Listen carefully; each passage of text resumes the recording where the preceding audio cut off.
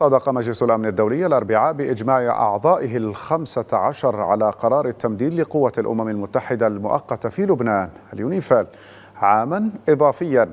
وقال ممثل جمهورية سيراليون الذي تتولى بلاده الرئاسة الشهرية لمجلس الأمن إن الوضع المتدهور في الشرق الأوسط يجعل من تمديد مهام اليونيفال أكثر من ضروري داعيا إلى إلزام جميع الأطراف بالتنفيذ الكامل لقرارات مجلس الأمن ذات الصلة.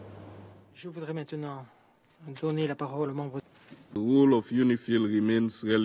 دور اليونيفيل يبقى بالغ الأهمية. إن تمديد مهام اليونيفيل لعام إضافي يمثل ضرورة قصوى بالنظر إلى الوضع الميداني الراهن في المنطقة.